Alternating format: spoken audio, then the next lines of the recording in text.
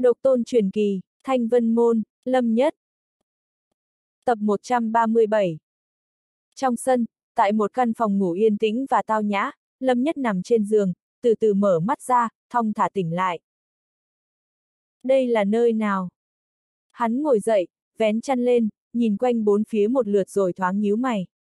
Hắn còn nhớ trước khi hôn mê, hắn đã ngã xuống ở một đỉnh núi hoang bên ngoài thành tứ tượng. Sau khi xem xét tình trạng thân thể và hoàn cảnh xung quanh, mày lâm nhất từ từ giãn ra. Đây là một khu vực an toàn, thương thế của hắn trên cơ bản đã khỏi hẳn, thậm chí khí huyết mạnh mẽ đến mức đáng sợ. Trong lúc hôn mê, rõ ràng là tu vi của hắn đã có tiến bộ không ít, bất giác nhảy đến cảnh giới thiên phách tầng 3 đỉnh phong. Rốt cuộc ta đã uống bao nhiêu linh dược? Lâm nhất nhịn không được mỉm cười, chỉ cần suy nghĩ một chút cũng có thể đoán ra được nguyên nhân. Chắc hẳn lúc hắn hôn mê, ngựa huyết long và bùi tuyết đã đút cho hắn uống, một ít linh dược và thiên tài địa bảo. Bịch, bịch. Lâm nhất khẽ nhúc nhích, trái tim mạnh mẽ đập từng hồi, khí huyết rồi rào cuồn cuộn chảy xuôi. Trong cơ thể hắn, sinh cơ hùng hậu, mạnh đến mức khiến người ta tức lộn ruột, chỉ cần siết chặt nắm đấm là khí lực đáng sợ liền tuôn ra. Khóe miệng hắn co quắp, không khỏi cười khổ. May mà hắn tu luyện thương long thánh thiên quyết nên thân thể đủ mạnh, nếu không thì việc điên cuồng nuốt linh dược kiểu đó, không chết cũng chỉ còn nửa cái mạng. Thương thế trước đó quả thực rất nặng, nhưng hiện tại đều đã khôi phục, chỉ còn lưu lại thi độc của trận thái cổ phong yêu. Tuy không nguy hiểm đến tánh mạng, nhưng lại có hơi khó chịu, như bị nghẹn ở cổ họng vậy. Hắn cần phải mất một khoảng thời gian mới có thể loại trừ, hoặc đợi đến thi kiếm ý thông thiên đến đại thành thì mới hoàn hoàn cắt đứt được. May mà thực lực đám người này không cao, nếu không, với khí thế của trận thái cổ phong yêu thì e rằng hắn khó mà thoát khỏi cái chết. Nội tình chiến giới đúng là đáng sợ. Lâm nhất lẩm bẩm, sắc mặt hắn trông rất nghiêm trọng, dường như chợt nghĩ đến điều gì đó nên nụ cười trên mặt hắn dần biến mất.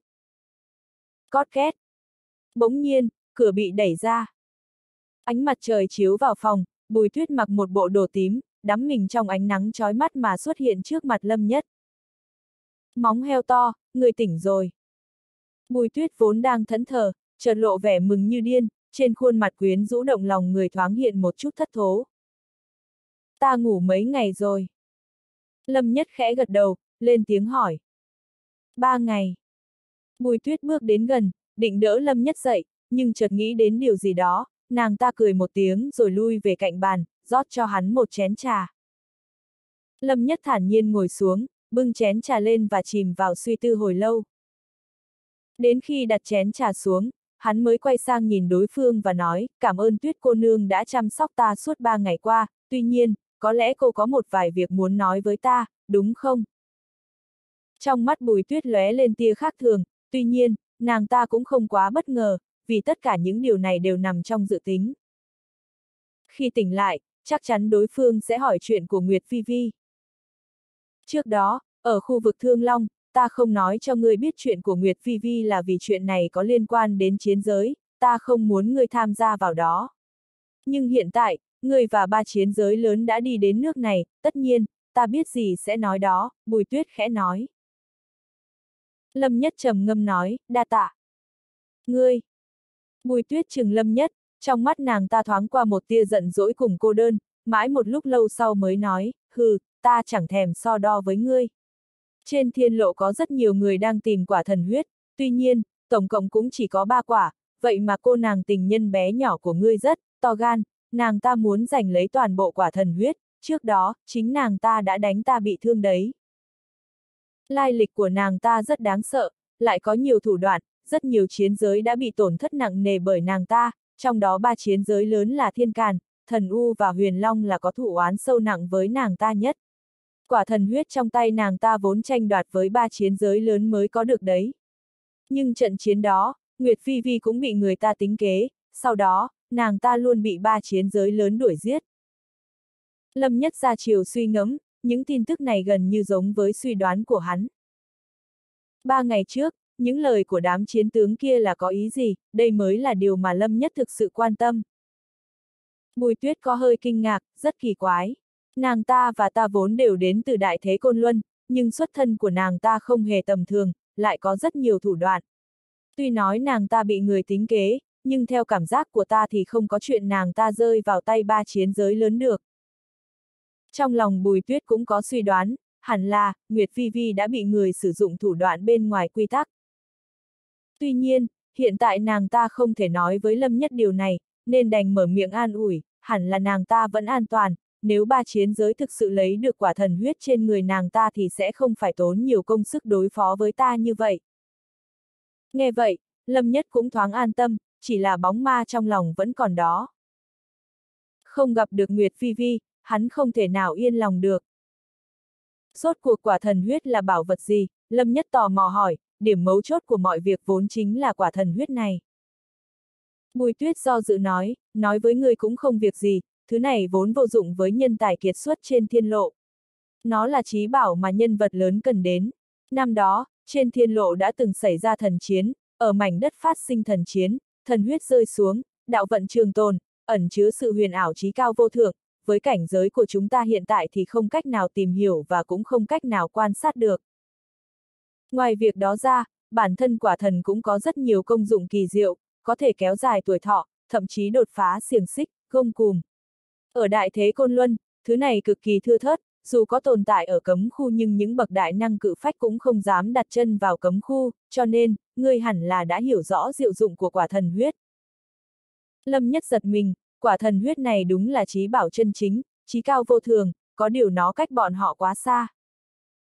Nhưng đối với những người có địa vị to lớn thì nó lại là thứ bảo vật không thể không tranh đoạt, bởi lẽ trên người bọn họ còn phải gánh vác sứ mạng của trưởng bối trong tộc. Quả thần huyết trí cao vô thượng. Bùi tuyết nói khá nhiều với Lâm Nhất về bí mật của loại quả này, và cả chuyện đã từng xảy ra giữa Nguyệt Phi Vi và ba chiến giới lớn. Lâm Nhất coi như cũng hiểu đại khái chân tướng sự việc. Lâm Nhất ngẫm nghĩ, Bùi Tuyết tin tưởng Nguyệt Phi Vi hiện vẫn an toàn, bởi vì Bùi Tuyết đã từng nhìn thấy thủ đoạn của Nguyệt Phi Vi, nên không nghĩ rằng tam đại giới tử thật sự bắt được nàng ta, dù rằng nàng ta có bị tính kế khiến thực lực hao tổn thì cũng không dễ dàng bị bắt được. Nhưng nói là nói vậy, vẫn không thể tin tưởng hoàn toàn được, cần phải dự trù cho tình huống xấu nhất. Thực lực của hắn vẫn chưa đủ mạnh. Kiếm ý thông thiên có thể tiến lên đại thành được rồi, Nhật Nguyệt Thần Quyền cũng nên bắt đầu tu luyện chính thức rồi. Trận chiến tại Thánh Đàn trên cao nguyên Hoàng Sa đã giúp Lâm Nhất nhìn rõ nội tình của chiến giới, đấy là chưa kể giới tử còn chưa đích thân ra mặt. Nếu giới tử ra mặt e rằng sẽ càng thêm kinh khủng. Đột nhiên, như nhớ đến điều gì đó, Lâm Nhất nhìn về phía bùi tuyết, hào quang trong mắt hắn chợt lóe, cô và Nguyệt Phi Vi cùng đến từ đại thế côn luân à. Nàng ta có thể lấy được quả thần huyết ắt hẳn là có chỗ hơn người, e rằng lai lịch cũng không hề đơn giản. Bùi tuyết cũng không kiêng kỵ việc này, khẽ nói, không chỉ ta, mà có rất nhiều người từ đại thế giáng xuống thiên lộ để tranh đoạt quả thần huyết, phải nói là khốc liệt và máu tanh hơn nhiều so với việc tranh đoạt truyền thừa. Ba quả thần huyết, mỗi quả đều phải trải qua gió tanh mưa máu đến cuối cùng mới giành được tới tay. Nói như thế, trên thiên lộ có rất nhiều người đến từ đại thế à, Lâm Nhất Hiếu kỳ hỏi. Đúng vậy. Bọn họ cũng sẽ tham gia cuộc chiến cuối cùng à? Có thể, tuy nhiên những người này chưa hẳn mạnh hơn so với ngươi. Dù sao thì ở đại thế, thiên tài cũng chia làm nhiều loại. Dạng siêu phàm như ngươi, nếu sinh ra ở đại thế thì sẽ nổi bật hơn so với nhiều yêu nghiệt. Còn về những nhân tài kiệt xuất thực sự trói mắt ở đại thế thì bọn họ sẽ không mạo hiểm giáng xuống thiên lộ, bởi lẽ nguy hiểm quá lớn, cửu tử nhất sinh, bùi tuyết nói rõ, không hề giấu giếm. Sắc mặt lâm nhất thoáng thay đổi, vậy Nguyệt Vi Vi. Nàng ta không giống, dường như nàng ta đã phòng ấn tu vi thực sự của mình, trước đó giáng xuống hạ giới, sau lại đi đến thiên lộ. Cách thức như vậy rất dườm già, nhưng có thể giảm tối đa nguy hiểm. Sự chấp nhất của nàng ta đối với quả thần huyết quả thực khiến người ta kinh ngạc, lại nói, phía sau cũng không có bất kỳ đại năng nào sai khiến nàng ta. Mắt bùi tuyết khẽ đảo, nàng ta thấp giọng nói ra suy đoán của mình, có thể bản thân nàng ta cần quả thần huyết. Vô số suy nghĩ lóe lên trong đầu lâm nhất, nhưng cuối cùng, vẫn không cách nào xác định được. Vì mục tiêu sắp tới, hắn vẫn nên sớm gia tăng thực lực thì hay hơn, nghĩ nhiều cũng chỉ phí công. Nếu thương thế đã ổn rồi, người có muốn đi dạo quanh thành tứ tượng không? Bùi tuyết hỏi, thành tứ tượng này rất náo nhiệt đấy, phong vân hội tụ, ngọa hổ tàng long. Phường thị dưới mặt đất có phòng đấu giá, võ quán, quán rượu, tiệm thuốc, đó đều là những nơi được ưa thích. Nếu nói nổi danh nhất thì hẳn là bảng thông thiên. Bảng thông thiên.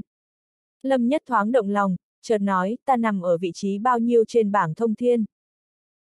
Cuộc chiến cuối cùng chỉ còn lại hai tháng, các lộ cao thủ tầng tầng lớp lớp, ai cũng muốn tỏa sáng trong bảo kính thông thiên, ngay cả Lâm Nhất cũng cảm thấy hiếu kỳ về xếp hạng của mình. Ngươi không có xếp hạng, Bùi Tuyết cười gượng. Không có tên trên bảng thông thiên ư. Nghe vậy, Lâm Nhất không khỏi sửng sốt, ngay cả đám người lạc trần mà còn có tên tuổi trên bảng thông thiên, sao hắn lại không có được chứ? Cảnh giới thiên phách tầng 4 mới được bảo kính thông thiên chú ý, tu vi của ngươi chưa đạt đến mức đó nên là không cách nào thể hiện được. Trước khi thiên lộ kết thúc, ngươi nhất định phải tăng tu vi lên đến thiên phách tầng 4, nếu không, sợ rằng ngươi sẽ không có tư cách tham gia trận chiến cuối cùng trên thiên lộ, bùi tuyết liếc nhìn lâm nhất, khẽ nói. Hình như có việc như vậy. Ngạch cửa của bảo kính thông thiên vẫn luôn thay đổi, lúc ban đầu là thiên phách tầng 2, giờ chỉ còn 2 tháng nữa là đến kỳ hạng nhất năm, ngạch cửa tăng lên đến cảnh giới thiên phách tầng 4 là chuyện rất bình thường. Vậy trước mắt ta sẽ bế quan vài hôm, không ra ngoài.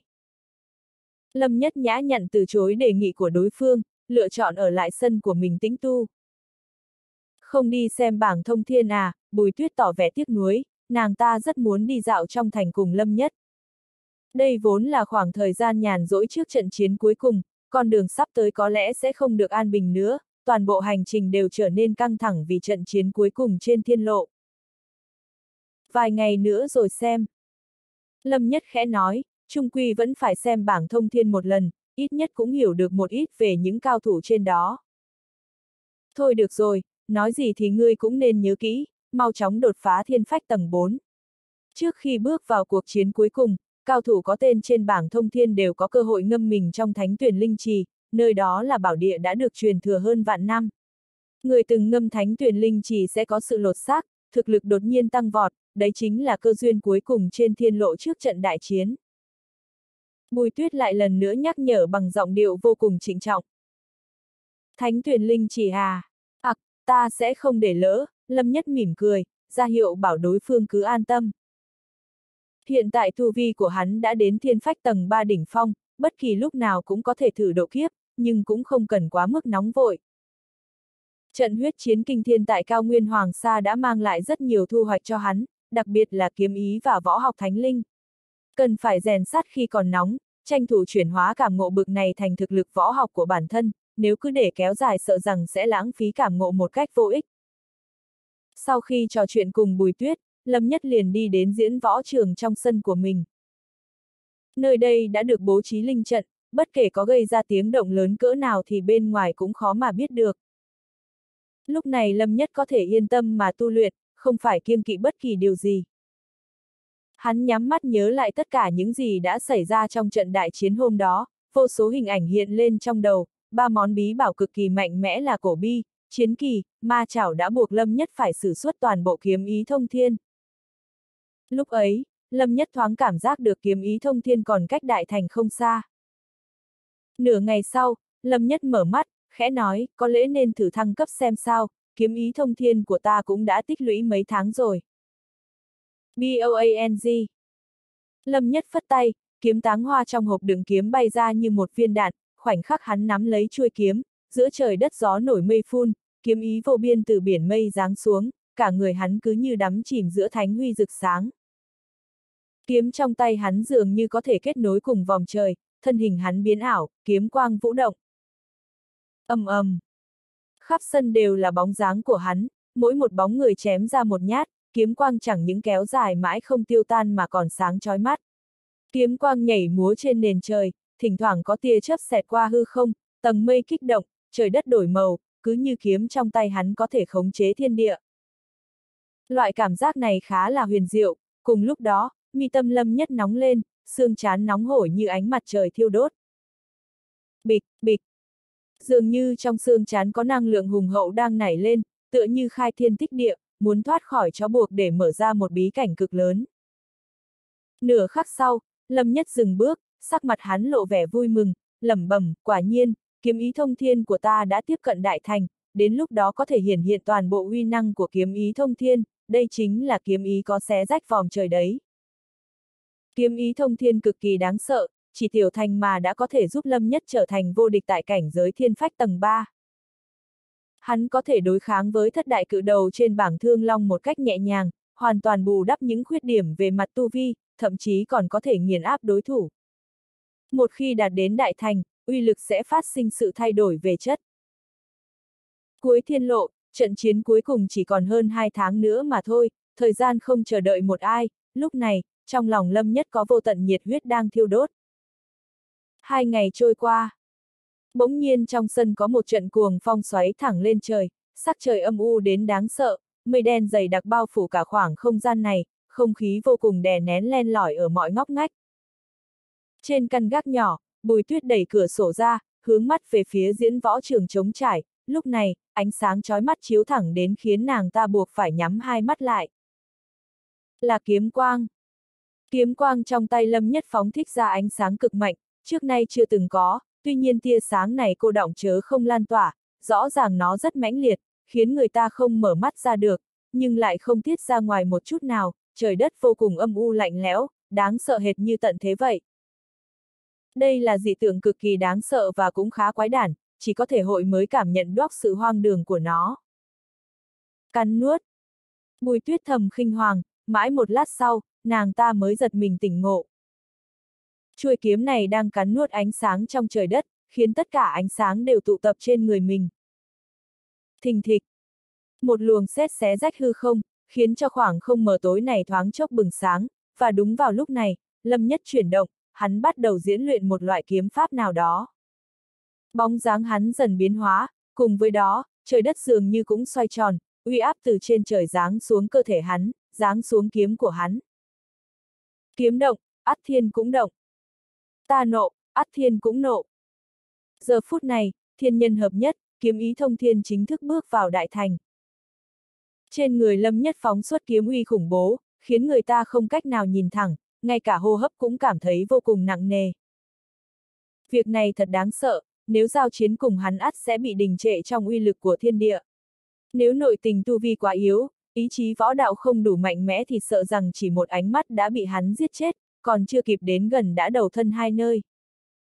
Bùi tuyết kinh ngạc đến độ không nói nên lời, khoảng trời này có vô số kiếm khách, nhưng ngay cả kiếm ý thông linh bọn họ cũng chưa nắm giữ được. Vậy mà Lâm Nhất lại có thể tu luyện kiếm ý thông thiên đến đại thành, chỉ riêng về tạo nghệ kiếm đạo, dù là trong đại thế thì cũng không có bao nhiêu nhân tài kiệt xuất có thể chống lại hắn.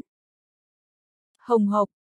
Khi Lâm Nhất tra kiếm vào vỏ, một vòng hào quang từ trên người hắn tỏa ra.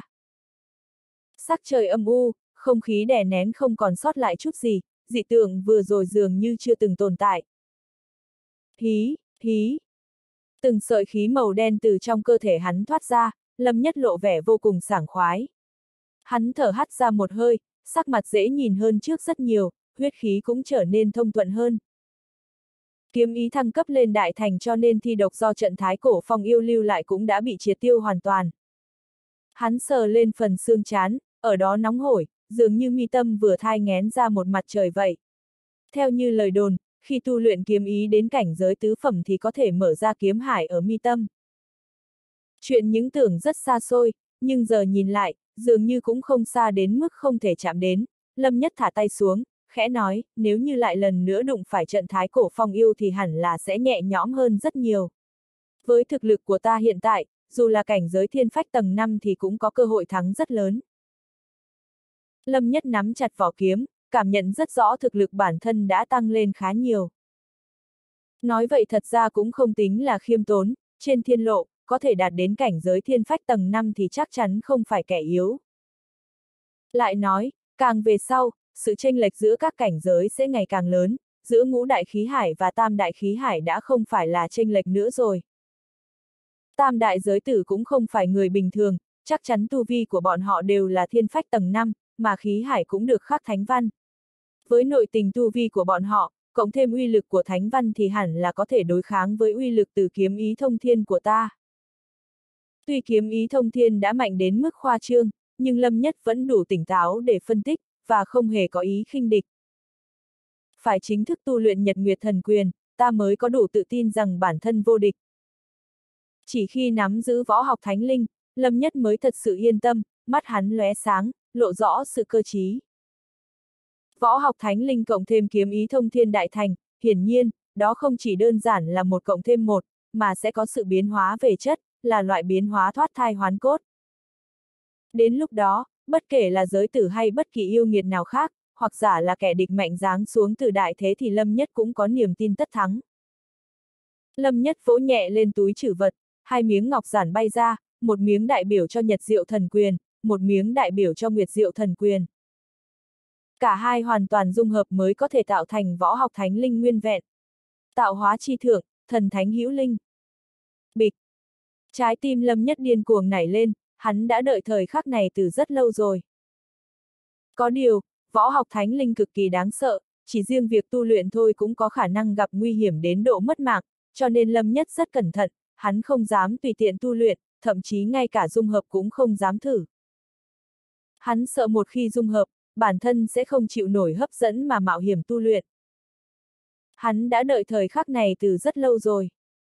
Bất kể là Nhật Diệu Thần Quyền hay Nguyệt Diệu Thần Quyền thì Lâm Nhất cũng đều tu luyện đến đẳng cấp vượt trên tạo hóa. Ở trong tay Lâm Nhất, uy lực của hai đại quyền pháp này đã vượt xa đến mức không phải võ học tạo hóa cấp đế giả có thể so sánh được. Dung hợp thôi. Trong mắt Lâm Nhất bắn ra hào quang, hắn cố gắng đè nén cảm xúc cuồng nhiệt trong lòng, lẩm bẩm nói.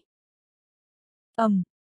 Hai miếng ngọc giản phát ra vầng sáng nhật nguyệt, bắt đầu chuyển động trước mặt hắn với tốc độ cực nhanh, sau đó không ngừng va chạm, tương thích một cách hoàn mỹ và dần dần dung hợp thành một thể. Tất cả chỉ phát sinh trong giây lát, với tốc độ xét đánh không kịp bưng tai. Xoạt! Hào quang lóng lánh, một miếng ngọc giản mới tinh xuất hiện trước mặt Lâm Nhất, ngọc giản tỏa ra ánh sáng đỏ như máu, trông vô cùng yêu dị. Nhật Nguyệt Thần Quyền Lâm Nhất nhìn ngọc giản phát ra ánh sáng đỏ như máu trông vô cùng yêu dị trước mặt, sắc mặt hắn lộ vẻ nghiêm túc trước nay chưa từng có, sâu trong mắt lóe lên tia hưng phấn nồng đậm. Dù hắn có cố áp chế cỡ nào thì niềm vui lớn như thế này cũng không cách nào che giấu được. Võ học thánh linh Đó chính là cánh cửa hoàn toàn vượt khỏi tạo hóa, thần thánh hữu linh, uy chấn ngân hà, là tồn tại mà nhân tài kiệt xuất cảnh giới thiên phách khó có thể chạm đến được. Thình thịch. Tim lâm nhất đập điên cuồng, có hưng phấn, cũng có khẩn trương, xen lẫn đó là một chút thấp thỏm không yên. Vô số lời đồn về sự hung hiểm của võ học thánh linh nào phải nói đùa, không có lửa thì sao có khói, hiển nhiên đã có rất nhiều ví dụ máu tanh, nếu không thì sao lại nói cao thủ thiên phách không thể chạm đến được. Khác với việc thu được võ học hùng mạnh trước đó, lần này, Lâm Nhất không sốt ruột tu luyện, hắn muốn bản thân phải hoàn toàn tỉnh táo lại. Việc này rất khó chịu, không đơn giản mà có thể có làm được.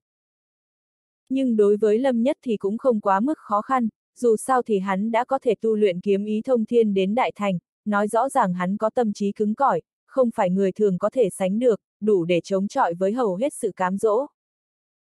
Tuy nhiên, cám dỗ lần này không phải lớn bình thường, dù đã nhắm hai mắt lại, nhưng khối ngọc giản màu máu lơ lửng giữa không trung kia vẫn như ẩn chứa ma lực, không ngừng đầu độc hắn, rượt dây hắn, bảo hắn hãy mau nắm lấy nó. Nhưng càng như thế, Lâm Nhất càng bình tĩnh, bởi lẽ thứ này rất đáng sợ, nó mang đến trải nghiệm mà từ trước đến nay hắn chưa từng gặp phải. Một môn võ học lại có ảnh hưởng đến tâm cảnh của hắn một cách rõ ràng, quả thực khó mà tưởng tượng nổi. Mãi hơn nửa canh giờ sau, Lâm Nhất mới mở mắt, ánh mắt hắn sâu thẳm, tựa như một đầm nước mùa thu, phẳng lặng, không hề có một gợn sóng. Quái lạ! Lâm Nhất lẩm bẩm, trước đây hắn chưa từng như vậy. Xem ra võ học cấp sinh linh quả thật có thể thông qua một cánh cửa hoàn toàn mới, có sự khác nhau rõ rệt với võ học dưới tạo hóa. Vèo. Lâm Nhất phất tay, nắm lấy ngọc giản, kế đó dán vào mi tâm. ầm. Um. Dị biến phát sinh, Lâm Nhất bị bắn ra, ý thức của hắn dường như va vào một tấm màn vô hình, kế đó bị hung hăng đánh bay. Việc này. Sắc mặt Lâm Nhất thay đổi, việc này quả thật không thể khống chế. Hắn có thể xác định ngọc giản trong tay mình chắc chắn là võ học cấp sinh linh, nhưng có một luồng lực lượng vô hình bọc lấy nó, luồng lực lượng này không cách nào phá bỏ và nó cũng bài xích hắn. Nó cần máu, nó có sinh mệnh, người phải đút cho nó no bụng mới được. Giọng của bùi tuyết vọng đến, nàng ta nhìn ngọc giản trong tay lâm nhất mà mắt không ngừng lóe lên tia khác thường. Thứ này quả thật không đơn giản, dù ở đại thế côn luân thì võ học cấp thánh linh gần như cũng chỉ là lời đồn, chỉ nghe danh mà chưa từng thấy thực. Còn về giới vực như huyền hoàng thì võ học tạo hóa đã là đỉnh cao rồi, ngay cả nghe còn chưa từng nghe qua nữa là. Bùi tuyết đến từ Côn Luân nên có tầm mắt hơn người, nàng ta chưa từng nhìn thấy võ học thánh linh, nhưng đã được nghe rất nhiều lời đồn về nó, cho nên kiến thức rộng hơn Lâm Nhất rất nhiều. Khó trách. Lâm Nhất không hề nghi ngờ lời của Bùi Tuyết, bởi vì trước đó hắn đã bị đầu độc, bị rượt dây khiến bản thân đưa tay chạm vào nó. Hẳn là có nguy hiểm. Lâm Nhất nhìn đối phương và nói. Đúng vậy, trước đó ta đã từng nói, võ học thánh linh là tồn tại mà cảnh giới thiên phách không thể chạm đến, lời này cũng không phải hù dọa ngươi, mà sự thật là thế. Ở phương đại thế kia, có rất nhiều người đã bị võ học thánh linh hút thành thây khô đấy. Chật, luôn có người không nghe lời khuyên bảo, tự cho mình là người có thiên mệnh, sẽ ngoại lệ. Bùi tuyết xì mũi, lộ vẻ khinh thường những người ở đại thế kia. Tuy nhiên, người vẫn còn may, ít nhất khiến nó tán thành ngươi là việc không khó, bùi tuyết liếc nhìn lâm nhất, thờ ơ nói. Vì sao? Con mèo chết tiệt kia không biết đã cho ngươi dùng bao nhiêu thiên tài địa bảo khi ngươi mê man. Trong đó có rất nhiều linh quả dị thảo mà ngay cả ta cũng không nhận ra, hầu hết đều là dược linh đã lâu năm, thậm chí có vài cọng là dược phương 5.000 năm, thất diệp thánh dương thảo, huyết dương quả, kim chản hoa, ngân hồn thảo, hai, cũng chỉ có tên móng heo to nhà người là không bị rót chết, bùi tuyết liếc nhìn lâm nhất, sau đó thấp giọng lầm bầm, lúc ấy nàng ta đã lo lắng suýt chết đấy. Tuy nhiên, tên này đã ngủ mê man rồi nên đâu hay biết nàng ta lo lắng cho hắn. Nàng ta vốn là nữ tử phong tình vạn trùng, giờ bày ra vẻ e thẹn càng khiến người ta yêu thích. Gò má xinh đẹp đỏ hây hây, cứ như sắp nhỏ ra nước vậy, làn da trắng như tuyết toát lên sắc hồng, nét phong tình tự nhiên mà nhã nhặn, lịch thiệp càng thêm mê hoặc lòng người hơn sự gợi cảm. Thì ra là thế, vậy ta nên làm thế nào? Lâm Nhất ngẫm nghĩ, nói cách khác, hiện tại huyết khí của hắn đủ để mở ra miếng ngọc giản này. Người cứ đặt ở lòng bàn tay là được, không cần phải làm gì cả, bùi tuyết cẩn thận nhớ lại kiến thức lúc trước rồi nghiêm túc nói. Nghe lời nàng ta, Lâm Nhất đặt ngọc giản trong lòng bàn tay ầm, um. Phút chốc, hắn cảm giác huyết khí sôi trao, kế đó như dòng giang hà cuồn cuộn sóng, vô số huyết khí nhanh chóng bốc hơi và không ngừng rót vào ngọc giản, loại cảm giác này cực kỳ huyền duyệt, mắt thường có thể thấy sắc mặt hắn đang tái đi. Không bao lâu sau, mặt hắn đã trắng bệch, môi cũng tái nhợt. Đã nhiều lần Lâm Nhất muốn buông tay, bởi thứ này chẳng khác nào đòi mạng, huyết khí của hắn hệt như hồng thủy vỡ đê, ào ào tuôn ra ngoài. Không đúng, móng heo to, người mau dừng lại. Sắc mặt bùi tuyết cũng thay đổi, với số dược linh trồng chất trong cơ thể lâm nhất thì hẳn phải dư sức mở ra võ học thánh linh mới đúng. Không sao, vẫn có thể kiên trì thêm lát nữa. Lâm nhất ỉ vào thương long thánh thiên quyết nên vẫn kiên trì dùng huyết khí nuôi nấng ngọc giản trong tay. Âm. Khi huyết khí của hắn sắp sửa tiêu hao hết, một luồng thánh huy từ kẽ tay hắn bắn ra, Lâm Nhất mở bàn tay ra, ngay lập tức, ánh sáng nhật nguyệt tỏa ra bốn phía. Từng đốm sát lơ lửng xung quanh bùi tuyết và lâm nhất, hai người như chìm đắm trong luồng ánh sáng này, toàn thân phút chốc trở nên ấm áp. Thật huyền diệu, bùi tuyết thẫn thờ nhìn dị tượng trước mắt, thật khó mà tin được.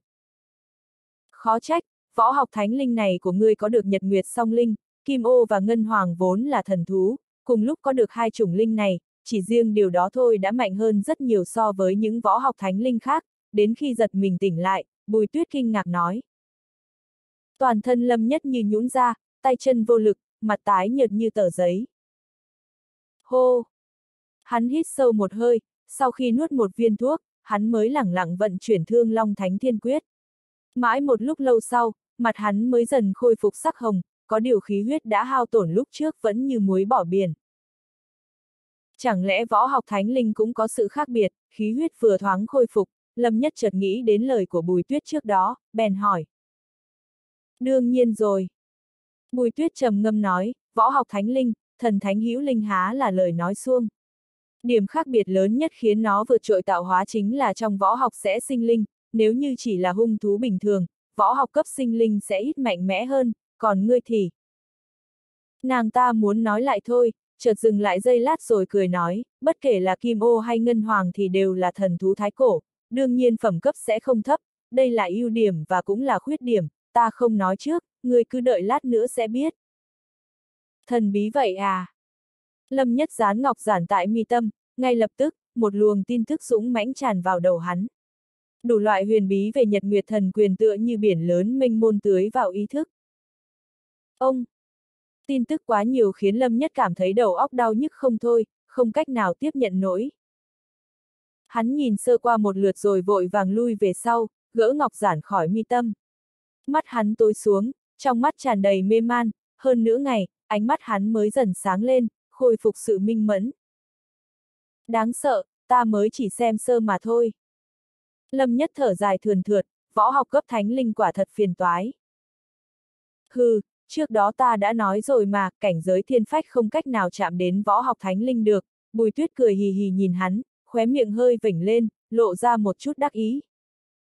Quả thật, Lâm Nhất gật đầu tỏ vẻ đồng tình. Đồng thời hắn cũng hiểu được lời vừa rồi của Bùi Tuyết là có ý gì.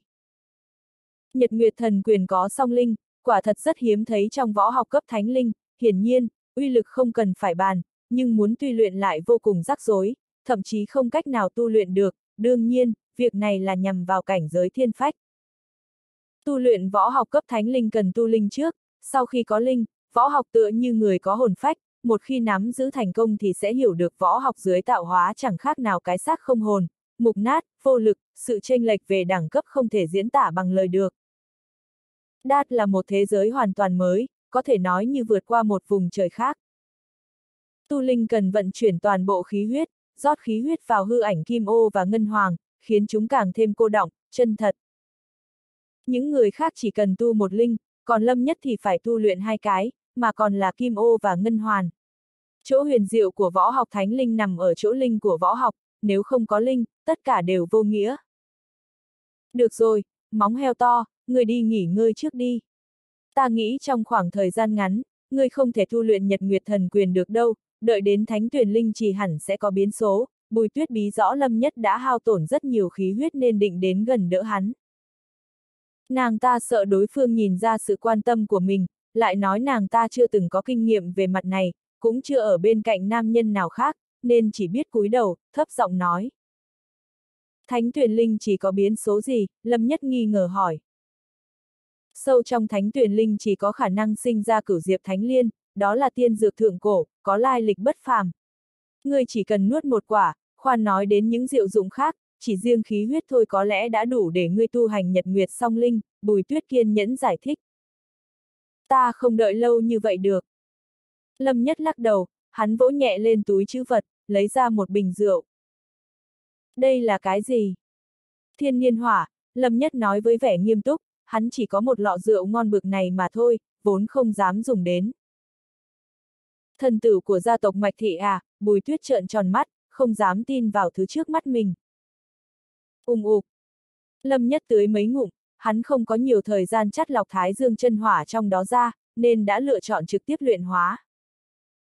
Xoạt. Sắc mặt của hắn thoáng chốc đỏ bừng lên, toàn thân như củi khô gặp lửa, phần trán nóng đỏ cả lên.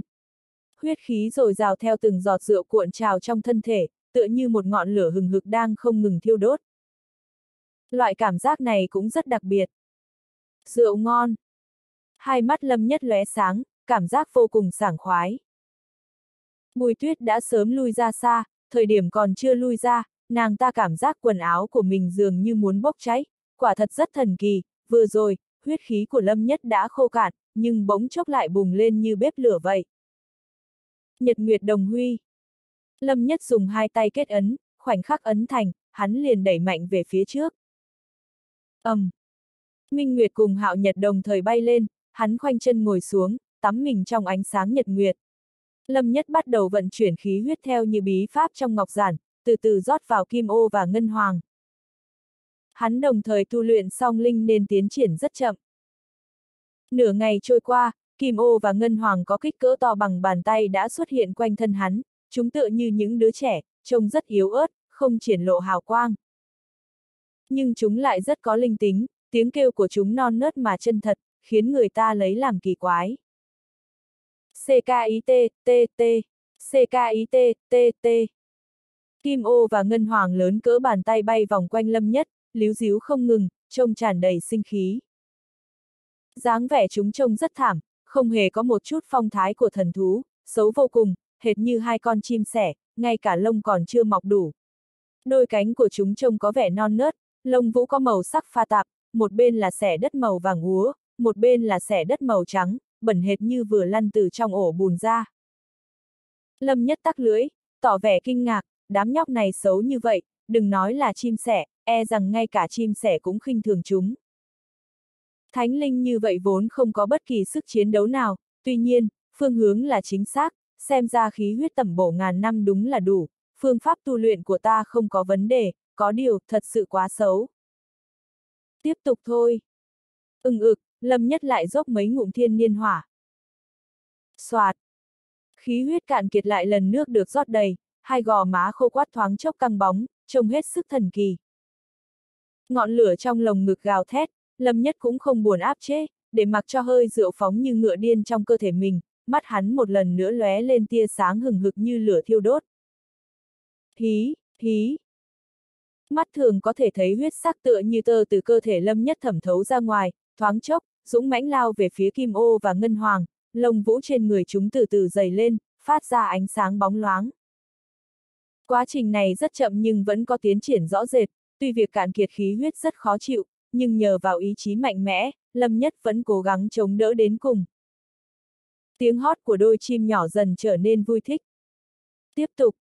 Lâm Nhất chắc chắn phương thức tu luyện của mình không có vấn đề, nên hắn cũng không kiêng kỵ gì nữa, chỉ cần tiếp tục như thế thì hai con chim nhỏ này rồi sẽ trở thành thánh linh có đủ sức chiến đấu. Ngày đầu tiên, Lâm Nhất tiêu hao ba đợt khí huyết, lông vũ pha tạp trên người kim ô và ngân hoàng mất đi hai phần, hai cánh cũng giang ra được khoảng hai thước. Mỗi lần khí huyết khô cạn, Lâm Nhất sẽ hấp một ngụm thiên niên hỏa, dùng thời gian ngắn nhất bổ sung khí huyết để tiếp tục tu luyện. Phương thức tu luyện bực này phải nói là cực kỳ xa xỉ, bởi thiên niên hỏa uống một ngụm sẽ ít đi một ngụm. Ngày hôm sau, Lâm Nhất hao hết bốn đợt khí huyết, lông vũ pha tạp trên người kim ô và ngân hoàng mất đi hai phần, hai cánh cũng giang ra được khoảng bốn thước. Ngày thứ ba, Lâm Nhất hao hết năm đợt khí huyết, tốc độ biến mất lông vũ pha tạp trên người kim ô và ngân hoàng dần chậm lại, nhưng hai cánh đã giang ra được khoảng tám thước, đã bắt đầu lộ ra duệ khí. Diệu dụng khác của thiên niên hỏa cũng từ từ hiển lộ, cảnh giới thiên phách tầng 3 vẫn không đổi, nhưng sau khi được thiên niên hỏa tưới tắm, hoa tinh ma trong khí hải càng thêm sáng chói, cô động và tinh thuần, hệt như một ngôi sao lơ lửng trong khí hải. Nếu nhìn kỹ sẽ thấy nhụy của mỗi đóa hoa tinh ma đều phát ra ánh sáng vàng, sản sinh khí thức thần thánh. Mỗi một chu trình tu luyện đều khiến Lâm Nhất cảm thấy toàn thân đau đớn không thôi, đặc biệt là kinh mạch có cảm giác như đứt gãy. Thiên niên hỏa thực sự bá đạo, mà cũng chỉ có Lâm Nhất là điên cuồng như thế, nếu đổi lại là người khác thì chắc chắn không cách nào chịu đựng được. Bảy ngày sau, không biết Lâm Nhất đã tiêu hao bao nhiêu lần khí huyết, lúc này, lông mau pha tạp trên người Kim Ô và Ngân Hoàng cũng đã hoàn toàn biết mất, rốt cuộc hắn cũng đã tu luyện võ học thánh linh đến cảnh giới nhập môn. Lâm Nhất chợt đứng dậy, đợi đến khi ấn ký hoàn toàn ngưng kết, hắn lập tức tung một quyền như sấm chớp. ầm, um. Kim ô và ngân hoàng từ hai phía trái phải trong cơ thể hắn vọt ra, ánh sáng nhật nguyệt đồng thời bùng lên, có hai loại lực lượng chồng lên nhau, khi quyền mang được tung ra, hư không trực tiếp bị nện vỡ, mặt đất cũng trao nghiêng. ầm ầm. Trên người Kim Ô và Ngân Hoàng toát ra uy áp cổ xưa, dưới uy áp bực này, hư không vốn đã bị chấn vỡ lại bắt đầu trở nên vặn vẹo. Đây chính là uy lực của Thánh Linh. Từ ngoài nhìn vào sẽ thấy Lâm Nhất đắm mình giữa Thánh Huy mờ ảo, cả người hắn được bao phủ bởi hào quang, toát lên khí phách khó có thể nhìn thẳng được. Song Linh cùng bay lên, dường như bầu trời cũng bị sốc lên, đây vốn chỉ là lực lượng từ một quyền rất bình thường, vậy mà uy năng bộc phát ra lại không cách nào tưởng tượng được. Nếu tính toán kỹ lưỡng thì, một quyền này tương đương với uy năng phát ra từ chín thức nhật diệu thần quyền xếp chồng lên nhau. Đây chỉ mới là miễn cưỡng nhập môn mà thôi, nếu thật sự tu luyện đến cảnh giới tiểu thành thì võ học tạo hóa không cách nào sánh được với võ học thánh linh, bởi lẽ hai thứ vốn không cùng một khái niệm. Một quyền mà Lâm Nhất vừa đánh ra vốn dĩ cũng không phải nhật nguyệt thần quyền chân chính, hắn chỉ là mượn một chút uy lực từ thánh linh để đánh ra một quyền mà thôi. ngẩng đầu nhìn, kim ô và ngân hoàng lượn quanh trên đỉnh đầu hắn, dị tượng diễn hóa có sự khác biệt rất lớn so với lúc trước. Nó dường như tồn tại chân thật, nhưng lại khác hẳn với sinh linh có máu thịt, đây là linh của võ học, và cũng là thánh linh, được dung hợp bởi huyết khí của Lâm Nhất và áo nghĩa trong Nhật Nguyệt Thần Quyền, trên thực tế thì càng có khả năng đảm đương hơn. Nếu không nhờ tu luyện Nhật Diệu Thần Quyền và Nguyệt Diệu Thần Quyền, đồng thời lĩnh ngộ hoàn toàn chân ý trong đó thì e rằng không cách nào đạt đến một bước này. Tuy nhiên, hiện tại chỉ việc duy trì sự tồn tại của hai đại thánh linh này mà đã khiến Lâm Nhất có cảm giác chân nguyên và huyết khí trong cơ thể nhanh chóng sói mòn, tiêu hao với tốc độ cực kỳ khoa trương. Quả thực cảnh giới thiên phách không cách nào nắm giữ loại võ học này được, bởi vì bất kể là ngạch cửa tu luyện hay việc thi triển cũng đều phải trả một cái giá đắt. Lâm Nhất vẫy vẫy tay, thánh linh theo đó mà xoay quanh, khí thế thiên phách tầng 3 đáng sợ từ trên người hắn cũng ẩm ẩm phóng thích. ầm, um. Luồng khí thế này tựa như bão táp, phút chốc đã đạt đến mức độ khủng khiếp có thể sánh ngang với thiên phách tầng 5, ngay cả linh trận gia cố trên mặt đất cũng không chịu nổi luồng duệ khí này. Vẫn phải tiếp tục tu luyện mới được, nếu không gặp phải yêu nghiệt cảnh giới thiên phách tầng 5 thì phần thắng chưa hẳn lớn như ta đã tưởng tượng. Lâm nhất thì thào tự nói, hắn vẫn tỉnh táo như trước, chớ không tự thổi phồng mình. Cảnh giới thiên phách tầng 5 bình thường đương nhiên không đáng để hắn quan tâm, nhưng nếu trong đó có yêu nghiệt đạt được đại khí vận, cùng gặp được kỳ ngộ phi phàm như hắn thì khó mà nói được. Dù sao kém hai đại cảnh giới, có nhiều hơn hai tầng khí hải, tranh lệch lớn về tu vi đôi khi sẽ dẫn phát sự biến chất nào đó. Một khi đối phương có át chủ bài, có thể chịu đựng dưới uy áp thánh linh của hắn mà không chết thì chuyện thắng bại thật sự rất khó nói. Cao thủ trên thiên lộ có quá nhiều, trong thành tứ tượng ngọa hổ tàng long, lại nói, tam đại giới tử càng là sâu không lường được. Còn chưa đủ, chỉ mới là nhập môn mà thôi, chỉ mới có uy lực từ thánh linh mà thôi, cần phải chính thức thi triển nhật nguyệt thần quyền mới được. Mắt lâm nhất lóe sáng, trong đó ánh lên sự kiên quyết trước nay chưa từng có. Chọn bộ nhật nguyệt thần quyền chỉ có ba thức, nhưng mỗi thức đều mạnh đến mức có thể là trời đất chấn động, mỗi một tầng tăng dần, cho đến khi thúc đẩy nhật nguyệt thần quyền này lên đến cảnh giới đại viên mãn đỉnh phong. Lại nói, mỗi thức đều có ba sát chiêu, biến hóa khôn lường, bao hàm toàn diện, có thể ngay tại chỗ diễn hóa ra đủ loại dị tượng khác nhau. Dầm dầm. Lâm nhất ngửa đầu dốc rượu, uống một hơi hết sạch số thiên niên hỏa còn lại, kế đó bắt đầu tu luyện trong diễn võ trường. Không còn thiên niên hỏa tương trợ, chặng đường tu luyện sắp tới vô cùng vất vả, nhưng Lâm Nhất lại càng thêm điên cuồng. Mỗi ngày đều đợi đến khi huyết khí tiêu hao hoàn toàn mới nghỉ ngơi, kế đó ngã đầu liền ngủ, dựa vào sức lực tự thân mà khôi phục. Trước đó mỗi khi huyết khí tiêu hao hết sẽ có thiên niên hỏa rót đầy, giờ thiên niên hỏa đã uống hết, Lâm Nhất đành ép buộc bản thân thoát khỏi sự ỉ lại vào thiên niên hỏa. Dù là bất kỳ vật ngoài thân nào thì cũng đều hữu dụng cho đến khi dùng hết, khi giao đấu với kẻ địch, trung quy vẫn phải dựa vào nội tình mà bản thân vốn có. Lại 7 ngày trôi qua, trải qua quá trình tu luyện điên cuồng này, cuối cùng Lâm Nhất cũng nắm giữ sơ bộ thức thứ nhất của Nhật Nguyệt Thần Quyền. Một ý niệm vừa lóe lên trong đầu hắn, ngay lập tức, Nhật Nguyệt song linh là kim ô và ngân hoàng từ trong cơ thể bay ra, chúng vọt thẳng lên trời, từ cơ thể chúng toát ra hào quang thần thánh, chiếu sáng trời đấy, vô tận thánh huy rơi vãi trên người Lâm Nhất, khiến hắn thoạt nhìn như không nhiễm bụi trần, chắc nhĩ bất quần, mang theo khí thế xuất trần. Một tiếng quát cuồng nộ vang lên, cả người Lâm Nhất cũng bay vọt lên không, Kim ô và ngân hoàng hóa thành hai luồng sáng xé rách vòng trời, vọt về phía lâm nhất với tốc độ sấm chốt. Xùy tương đương tương đương, xùy tương đương tương đương. Chùm tia sáng màu vàng và màu bạc hội tụ vào nắm đấm ở tay phải lâm nhất, không ngừng chuyển động, va chạm và dung hợp, phát ra vô số điện quang. Thoáng chốc, phong vân biến sắc, dị tượng liên tục. Đợi đến khi hai bó sáng kia hoàn toàn dung hợp và rót vào lòng bàn tay lâm nhất, hai luồng sáng trong lòng bàn tay lâm nhất bắt đầu xoay tròn, nhìn kỹ thì thấy đúng là kim ô và ngân hoàng, chúng diễn hóa thành mặt trời và mặt trăng, phát ra ánh sáng nhật nguyệt. Ngay lập tức, dường như toàn bộ thế giới bị lâm nhất cầm trong tay, trên người hắn bộc phát duệ khí bế nghễ bát phương, sắc bén lại ngang tàng không gì sánh nổi. Thiên địa đồng tâm. Mấy chữ nặng nề từ cổ họng hắn bật ra, năm ngón tay lâm nhất siết chặt, phút chốc, quyền mang bắn ra. Nhật Nguyệt bị hắn vung ra ngoài theo quyền mang, nhưng không bay ra, mà tản ra ở trước quyền mang hai tấc, rồi một lần nữa diễn hóa thành kim ô và ngân hoàng, hai đại thánh linh truy đuổi lẫn nhau, đầu đuôi nối liền hình thành một quả cầu năng lượng vô cùng khổng lồ, có đường kính gần 10 trượng, từng chùm tia sáng màu vàng và bạc từ đó phát ra tựa như kim quang đâm thủng hư không. Phút chốc, nhật nguyệt vô quang, thiên địa thất sắc.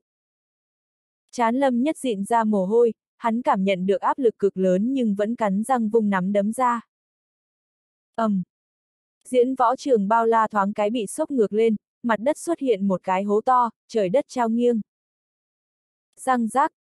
Lâm Nhất ngẩng đầu nhìn thì thấy tấm chắn vô hình bao phủ toàn bộ khoảng sự xuất hiện những vết dạn nho nhỏ, lúc này đã có khí tức lọt ra ngoài. Ngay lập tức, chúng hóa thành khí lưu vô cùng sắc bén, phóng thẳng lên vòng trời của thành tứ tượng, dễ dàng khuấy tầng mây dày nặng bên trên thành phấn vụn. Lâm Nhất nhiều mày, lộ vẻ bất mãn. Không phải nói thích quậy thế nào thì quậy, bên ngoài sẽ không có chút động tĩnh nào à? Nhưng kết quả là linh trận gia cố diễn võ trường đã bị hắn lật tung lên, tấm chắn bao phủ sân nhỏ cũng vỡ vụn, may mà chỉ có một ít khí tức bị thẩm thấu ra ngoài mà thôi. Hiện tại, mỗi ngày trong thành tứ tượng đều có yêu nghiệt bùng nổ, một bước lên trời, cho nên một chút động tĩnh đó cũng không quá bắt mắt. Xíu, yêu yêu. Hắn giang hai tay ra, đáp xuống rìa hố to, cẩn thận quan sát và không khỏi hút một ngụm khí lạnh. Chỉ thấy cái động trước mặt sâu không thấy đáy, thoáng có ánh lửa nhấp nháy trong đó, ánh lửa dường như phát ra từ viêm mạch dưới lòng đất bị đứt gãy. Một kích này không chỉ hủy đi linh trận ra cố sân mà dường như còn cắt nát viêm mạch dưới lòng đất. Móng heo to, người đang làm gì đấy? Bùi tuyết từ bên ngoài hấp tấp chạy vào, khi nhìn thấy cái hố to trong diễn võ trường, sắc mặt nàng ta thoáng chốc đen như đáy nồi. Vừa mới liếc thấy cái hố kia, bùi tuyết thẳng thốt, bị dọa đến mức không nói nên lời. Người đang tu luyện võ học thánh linh à? Nửa ngày sau, bùi tuyết mới giật mình hoàn hồn. Còn kém xa, lâm nhất mỉm cười, cũng không nhiều lời. Thật ra cũng không chênh lệch quá xa, hắn tu thành thiên địa đồng tâm coi như đã nắm giữ sơ bộ nhật nguyệt thần quyền. Ba thức sát chiêu, nắm giữ cái thứ nhất chính là nắm giữ mấy trăm loại biến hóa. Có tin tức của ba chiến giới lớn không? Lâm Nhất chuyển chủ đề, mấy ngày nay hắn đóng cửa tu luyện, còn Bùi Tuyết thì ra ngoài tìm hiểu tin tức. Thật kỳ quái, bọn họ không có một chút động tính gì hết, tuy nhiên, mỗi khi ta ra ngoài đều có người âm thầm theo dõi, Bùi Tuyết nhẹ giọng đáp, tuy nhiên nàng ta cũng không quá rõ ràng, danh dự của ba chiến giới lớn đã bị quét sạch, với tính tình của giới tử thì không có chuyện nhịn nhục được. Có người âm thầm theo dõi cô à? Ừm, tuy nhiên trong thành tứ tượng, ngoại trừ những khu vực đặc biệt, các nơi khác đều không thể tùy tiện ra tay. Hơn nữa, ta có cảm giác những người này nhắm vào ngươi, nên sẽ không đánh rắn động cỏ đâu, Bùi Tuyết nói ra suy đoán của mình. Xem ra nếu ta không hiện thân thì đám người này sẽ không có động tĩnh. Đi thôi, gọi cả tiểu hồng nữa, đi bảng thông thiên. Trong mắt lâm nhất lóe lên tia sáng lạnh, tốt nhất là đám người này đừng chạm vào điểm mấu chốt của hắn hai người mang theo ngựa huyết long rời khỏi nơi ở trong thành tứ tượng, đi một mạch đến quảng trường trung tâm của tòa thành này. Sau nửa canh giờ, cuối cùng bọn họ cũng đến quảng trường trung tâm, đây là nơi đặt bảng thông thiên. Và đây cũng là một trong số ít ỏi những nơi trong thành tứ tượng có thể giao đấu, đương nhiên là chỉ giới hạn trong việc luận bàn, một khi rời khỏi quảng trường thì bắt buộc phải dừng tay. Lâm Nhất ngẩng đầu nhìn, ở trung tâm quảng trường có một cái hồ cực lớn, hồ nước ẩn chứa khí tinh nguyên rồi rào đến độ khoa trương. Rất nhiều người ngồi xếp bằng quanh bờ hồ, nhắm mắt tu luyện, hiển nhiên, bọn họ xem cái hồ này là một phong thủy bảo địa. Lâm Nhất nhìn quanh một lượt, nhanh chóng phát hiện phía trên mặt hồ là một tấm gương cổ cực lớn. Gương cổ bao phủ một tầng sương mù, như ẩn như hiện, thỉnh thoảng có hào quang bắn ra, hoặc là bạch quang, cũng có tử quang, đồng thời còn có kim quang sáng chói. Những hào quang kia, lần lượt là danh tự. Bảo kính thông thiên. Nhìn về phía con quái vật khổng lồ này, Lâm Nhất cảm nhận được khí tức đáng sợ từ mặt gương, hắn lẩm bẩm. Hắn đã từng nghe rất nhiều lời đồn về tấm bảo kính này, đến hôm nay, cuối cùng cũng tận mắt nhìn thấy. Nó cũng không phải bảo kính thông thiên chính thức, bảo kinh ở cuối thiên lộ, đây bất quá chỉ là hình chiếu mà thôi. Tuy nhiên, phía trên mặt gương vẫn có thể nhìn thấy được danh tự. Đó chính là bảng thông thiên, hiện tại, ngạch cửa đã đến thiên phách tầng thứ tư. Chỉ khi đạt đến thiên phách tầng thứ tư, người mới được bảo kính thông thiên để mắt đến, nhưng có thể có tên trên bảng thông thiên hay không thì vẫn phải dựa vào thực lực bản thân. Bùi tuyết giới thiệu cho Lâm Nhất lai lịch của bảng thông thiên. Bảo kính thông thiên có thể bao phủ toàn bộ thiên lộ, nó sẽ căn cứ thực lực của người nhập bảng để cho ra một bảng liệt kê. Tuy nhiên, nếu trên bảng có người ẩn giấu thực lực, hoặc nắm giữ một vài át chủ bài mà bảo kính không cách nào phát hiện được thì chiến lực thực sự của họ có thể sẽ bị đánh giá thấp. Nên xếp hạng trên bảng thông thiên chỉ tương đối chính xác mà thôi. Thông thường trong tình huống xếp hạng có sự chênh lệch lớn thì những người nằm trong nhóm đầu bảng chắc chắn sẽ có chiến lực mạnh hơn. Trước khi diễn ra chung cuộc, hầu hết mọi người vẫn chú ý đến xếp hạng trên bảng danh sách này. Đương nhiên, quan trọng nhất là có tên trên bảng thì mới có tư cách ngâm thánh tuyển linh trì. Hiện tại Lâm Nhất chỉ mới đến thiên phách tầng 3, còn chưa được bảo kính thông thiên để mắt đến, dù rằng thực lực chân chính của hắn đã có thể so sánh với thiên tài kiệt xuất thiên phách tầng 5. Bùi tuyết tiếp tục nói, trên bảo kính thông thiên, có danh tự màu trắng, có cái màu tím, cũng có cái màu vàng. Được xưng là bạch bảng, tử bảng và kim bảng. Kim bảng tập hợp những người có thực lực mạnh nhất, đứng ở đỉnh kim tự tháp của thiên lộ, tổng cộng chỉ có 18 danh ngạch, trên cơ bản đều bị 10 phương chiến giới chiếm giữ. Lâm Nhất ngẩng đầu nhìn những danh tự phát ra hào quang màu vàng sáng chói kia, chúng có số lượng ít nhất trên mặt kính chẳng chịt danh tự. Nhưng hào quang chói lọi của chúng lại khiến cho danh tự của những người khác đều trở nên mờ nhạt, không hề có một chút ánh sáng. Gần đây thứ hạng có sự thay đổi lớn, mấy ngày nay luôn có yêu nghiệt xuất thế ngang trời, một bước lên mây, thậm chí trên kim bảng cũng có người chen chân vào, rất nhiều người đã tu luyện ở đây, thậm chí lựa chọn chỗ này làm nơi độ kiếp, sau đó trực tiếp xông vào bảng thông thiên. Hai người vừa đi vừa nói. Lâm Nhất phát hiện xung quanh hồ nước rộng lớn quả thật có người đang thử độ kiếp, còn gây ra động tĩnh không nhỏ. Trận chung kết sắp đến gần, rất nhiều người không còn suy nghĩ ẩn mình nữa, dù không tranh giành thứ hạng trong trận chung kết thì ít nhất cũng muốn được ngâm mình trong thánh tuyển linh chỉ một lần. Mà chỉ có leo lên bảng thông thiên thì mới có tư cách đến thánh tuyển linh trì. Thánh tuyển linh chỉ có lai lịch bất phàm, là cơ duyên cuối cùng trên thiên lộ, thế nên nó mang ý nghĩa phi phàm. Một khi bỏ lỡ, người vốn có thực lực không chênh lệch bao nhiêu có thể sẽ bị kéo lùi một khoảng cách mà không cách nào vượt qua được. Cô đang ở bảng nào? Lâm Nhất tò mò hỏi. Với thực lực của Bùi Tuyết thì hẳn là đã sớm đến thiên phách tầng thứ tư. Xếp hạng 36 trên tử bảng. Cô chỉ mới 36 thôi ư. Tử bảng cũng cạnh tranh rất khốc liệt, 10 người đầu bảng đều có tu vi thiên phách tầng thứ 5, mỗi một người đều có kỳ ngộ phi phàm. Trong trận chung kết, thậm chí bọn họ còn có tư cách tiến vào bảng 10, không ai biết rốt cuộc những người này cất giấu bao nhiêu át chủ bài cả. Bùi tuyết trịnh trọng nói, nhất là trong khoảng thời gian gần đây, thứ hạng có sự thay đổi rất lớn. Lâm nhất nhìn bùi tuyết, lực phong ấn trong cơ thể đối phương có sức mạnh vô cùng đáng sợ, không chỉ bởi quả thần huyết, mà trên người nàng ta còn có bí mật khác. Đừng nhìn ta như vậy, nếu tiểu tình nhân của ngươi biết được, ta sợ là chịu không nổi đâu, bùi tuyết cười hì hì nói, nhưng trong lòng lại khấp khởi mừng thầm, nàng ta rất có lòng tin với vẻ ngoài của mình, nếu móng heo to thật sự có ý thì tốt rồi. Nguyệt Vi Vi không phải tiểu tình nhân của ta, Lâm Nhất bình tĩnh nói. Không thể nào, vậy nàng ta là gì của ngươi, bùi tuyết giật mình, đồng thời, tim nàng ta cũng đập nhanh hơn, bởi vì có một chút tâm tư với hắn nên sắc mặt nàng ta bất giác đỏ ứng lên. Lâm Nhất ngẫm nghĩ rồi châm ngâm nói, nàng gọi ta là Lâm ca ca, có thể xem như muội muội, nhưng dường như thân hơn một chút. Nàng rất quan trọng đối với ta, ta từng có lời hứa, trên thiên lộ, kẻ địch của nàng chính là kẻ địch của ta, bất kể đó là ai. Vậy không phải tiểu tình nhân thì là gì hả, cái tên móng heo to này. Bùi tuyết thất vọng, một chút tâm tư của nàng ta thoáng chốc bay biến đi đâu hết, không còn sót lại chút gì. Xoạt! Bỗng nhiên, trung tâm quảng trường vang lên tiếng xôn xao, rất nhiều người đang nhắm mắt tu luyện đều không tự chủ được mở mắt ra.